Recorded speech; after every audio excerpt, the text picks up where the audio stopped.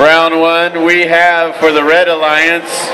And we're going to go with the, with the robotic numbers now. You won't hear the school names, you're going to hear the robotic numbers. So make sure you're familiar uh, with whatever number you're rooting for. But on the Red Alliance, we have 7983G. And we have 563. Going up against the Blue Alliance of 4621B and 424D. Now this is the best of three competition. All right. If you're unfamiliar with the rules, there is one robot that is sitting out this match, and they must play in the next match. And then the third match, if there is one, anybody can compete in that one. All right. Red Alliance, are you ready? Blue Alliance, are you ready? Official, who knows everything, are you ready? All right, here we go. We're going to start our playoffs now. Autonomous in one, uh, three, two, one, go. And they're off. Now, of course, these are the ones who say they're the best of the best. So we expect them to score Blue Alliance. And we've got, for Autonomous, the winner is Blue.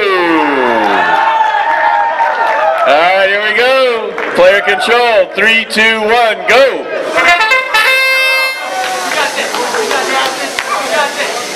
Now, it's not just skill, but it's strategy at this point, you'll notice.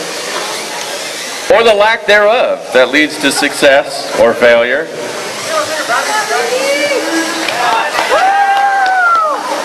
Red Alliance jumps out to a lead. Everybody's familiar with the scoring by now. Green balls are worth one below, five above. Orange, two below, ten above. Red Alliance, look at 563. Makes it look so easy. Both Red Alliance robots, making it look easy. The Blue Alliance robots are making it look medium. red, red scoring at will.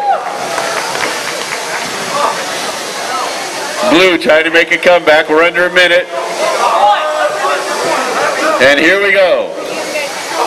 It's comeback time, Blue. If you're going to do it, it would be now. I wouldn't wait. The Red Alliance vacuums. We're down to 30 seconds. And there they go. They're doing that thing they do. Look at that. Look at that. We got to call 7983G Stephen Curry G. Look at that. Wow. The bag's going to break. The net's going to break. Blue still competing. Still competing. Kobe. There we go. Three seconds left. Two, one,